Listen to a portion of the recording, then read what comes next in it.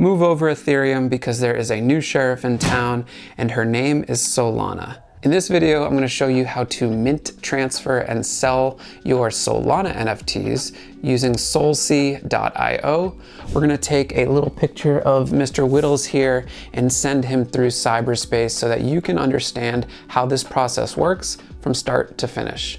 Anyways, let's get started. Okay, so the first thing we're going to want to do is set up our wallet using Phantom Wallet. So I'm going to go to this app here.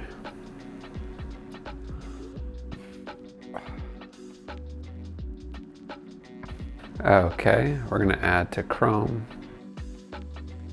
And I'm gonna do create a new wallet.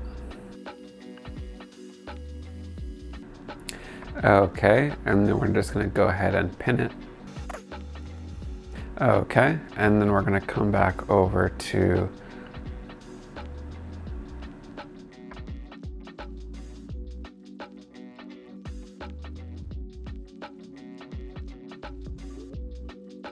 and we will just register here. Okay, so now we are logged in. So we can come over to my NFTs and we don't see anything here. So let's go ahead and refresh this. Okay, and then we're gonna go to create. And we're first gonna create a collection. I'm gonna call this refactored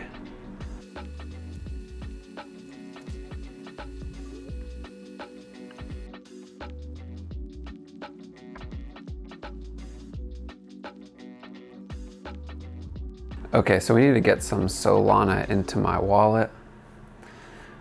So we're gonna do that by coming to Coinbase. And I'm just gonna convert some of my Stellar XLM into Solana directly, and then we can send it to my Phantom wallet.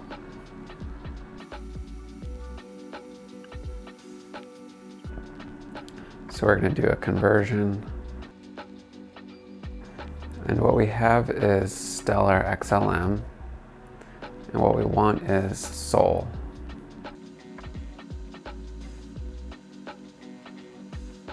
So we're gonna see if 15 is adequate. Okay, and then in theory, I should have some Solana in my account. So let's take a look. Yep, okay. So now what we want to do is just send this to my phantom address. So we're to send all of it. And then let's see here.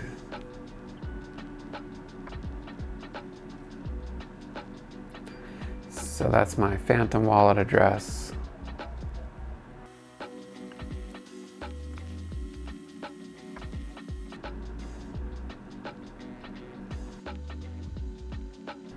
Okay, now let's see if those funds have been received. Okay, so now we can see we have some funds in here. So let's see if we can't create our collection.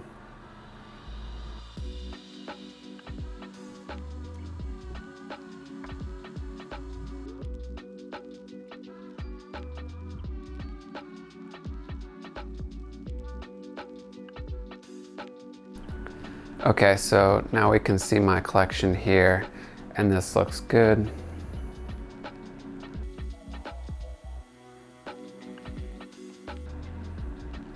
Okay, so now we're gonna go to create NFT.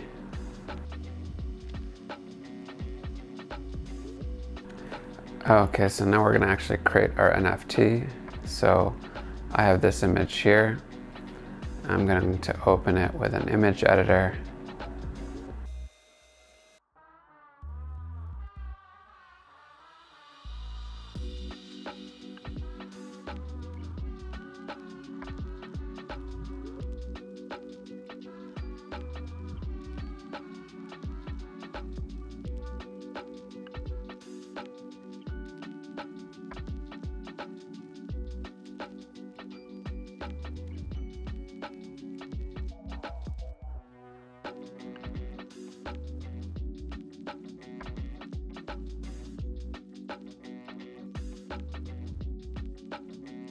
So unlike OpenSea, SolSea does not pay for small transaction fees. You have to pay them yourself.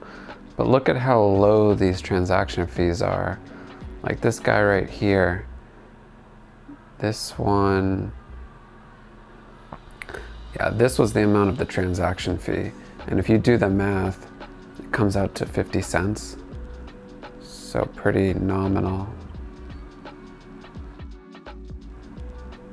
And transactions using Solana are must transactions using Solana are much cheaper than Ethereum and Polygon.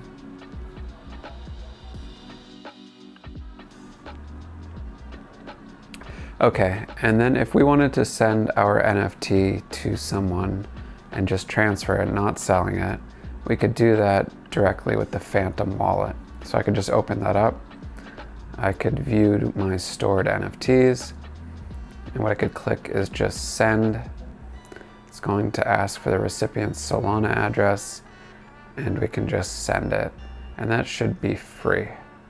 So I'll just add a second wallet just to demonstrate that point. So let's do create a new wallet. And let's call this new owner.